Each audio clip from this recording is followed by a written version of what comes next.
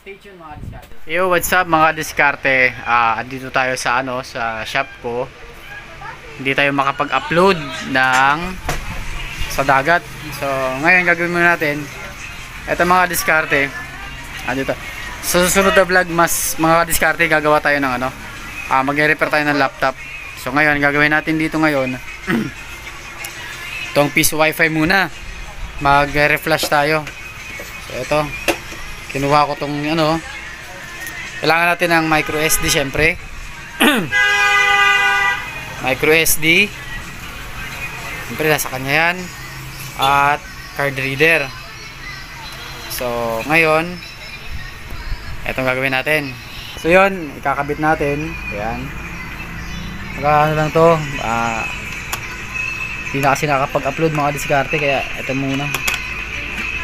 Sira kasi yung camera natin, may camera na bago eh. So, ayan. At ang gamit ko dito na software is yung Win32. Cancel lang natin yan. Pero ko na makita, ang daming files eh. Type ko na lang Win32. Yan, lalabas yan. Ayan na. So, yes natin. So, drive D. Ah, nasa drive D yung aking SD card. Ayan. So, ayun. Hanapin natin yung files kung nasa nakalagay. Nasa desktop ko yan. Desktop. Tapos, um, Wi-Fi. Ayan, Wi-Fi ng bayan. So, gamit ko pala Wi-Fi ng bayan mga kadiskarte, no? Ah, ayan na. 4.1.1.1B. So, i-open lang natin. Then, read. Yes. Yeah, yes lang.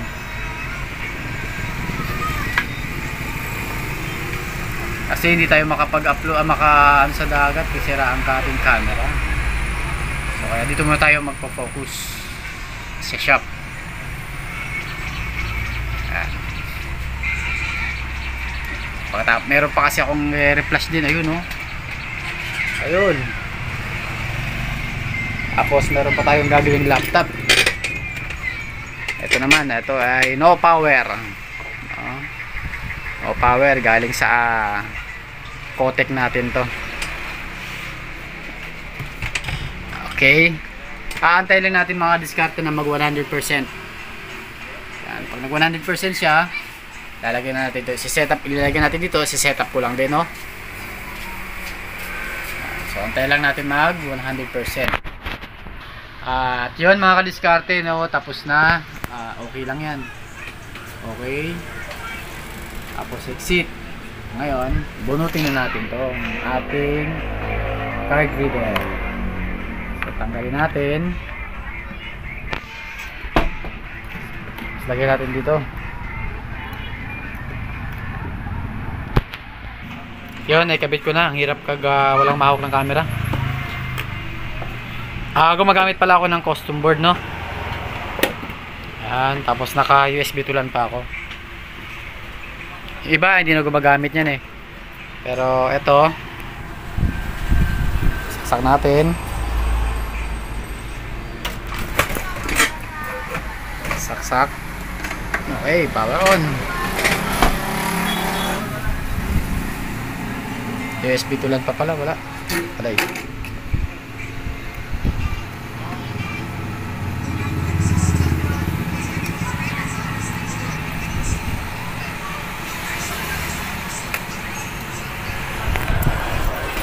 Tingnan natin. Disconnect ko natin sa ating wifi. So, ayan. Wait lang natin.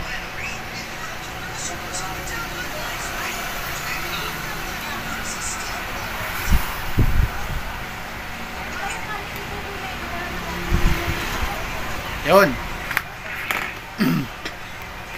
natin si Google. Punta tayo sa portal.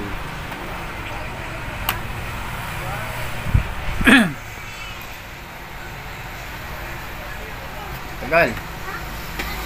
So, antay lang natin mga diskarte. Papasok din. Ah, blinking pa kasi oh. Makapansin nyo sa ilalim mo, may ilaw-ilaw pa. Pag nawala yung ilaw na yan, pag is- nag-off na siya, saka siya papasok kayo. Antay lang natin. Baka nagbabasa pa siya eh.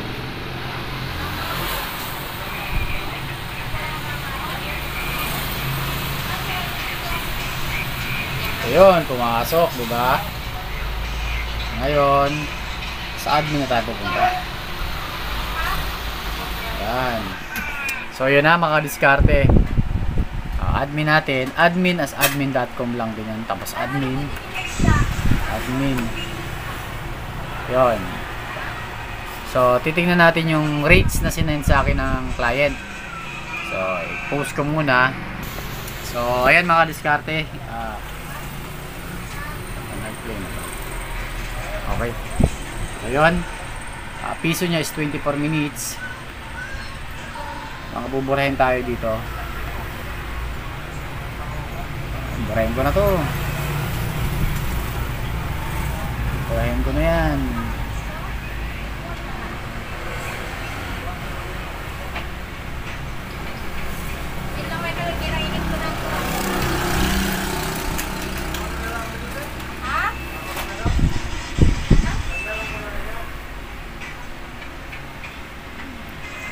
Isi-set up, isi-set up ko lang yung rates na gusto ni client. Voucher pala yun. Tayo. So, ang piso niya is 24 minutes. Uy, masyado maliwanag pala. Piso is 24 minutes. Tapos, update. Tapos, tingin tayo ulit.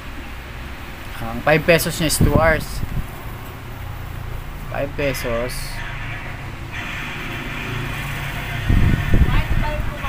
120. Ah, update.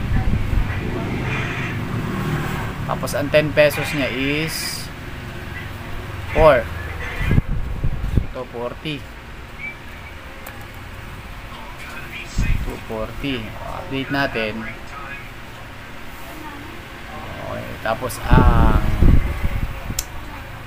8 hours niya ang 20 pesos. 8 hours so dagdagan natin to ng 120 80 to 480 480 so 8 hours. Dagdagan natin ang post. Dagdagan natin yung post niya ng 5 natin ang post niya ng 4 natin ng 2 and 0 na sa iba. Update update update update update update. Kuha tayo ng admin. Ang admin niya is ito copy.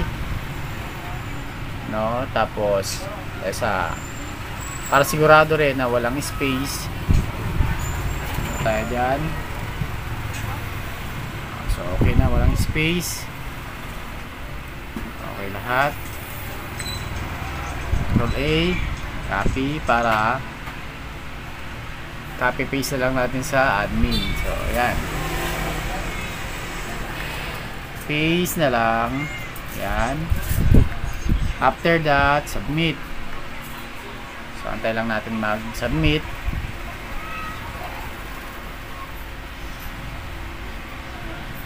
ayan natin magkakaroon naman siya ng kulay green.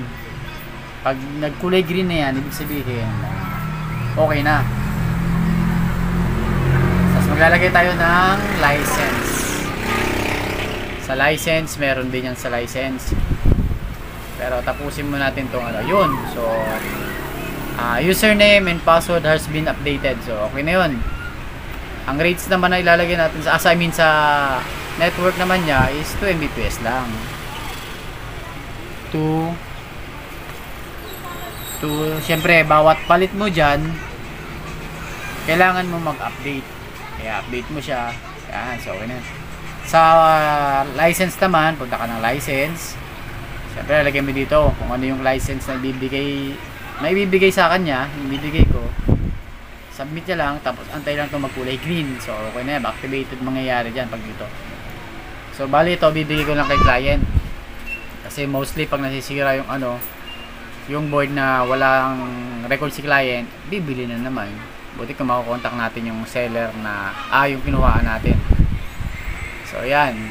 Okay na to, mga diskarte. Kung pwede mo siyang ibilan, pwede mong ibilan. O kung gusto mo magbilan. So, ang gamit ko kasi naka USB to lang ako, so hindi ko na kailangan ibilan to. Okay na to. So, satisfied naman si client dito eh. So, yun. ah ano lang, ah tapos nito, log out mo kasi okay naman ah. Tapos itong admin niya, sisend ko sa kanya. So, yan. Log out. So, okay na to mga diskarte, no?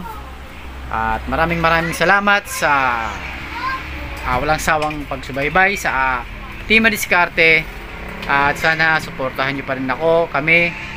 Ah, kahit wala pa kaming upload sa dagat, pero as soon as possible, makakabalik ulit sa dagat ang Team Diskarte. So, yun kasi ah, ayusin ko pa yun eh. No? Maraming salamat mga diskarte. Next natin is yung laptop. No, no power yan o kaya may may laptop na no display yun muna kung alin sa dalawa para ipapakita ko. Ayan. Maraming maraming salamat mga diskarte. Don't forget to subscribe, like, share, and comment sa Team Diskarte. Yun nga pala sa mga acid reflux pala no. Ah, hindi pa ako makapag-vlog sa about diyan pero soon magba-vlog na rin tayo dyan. Salamat.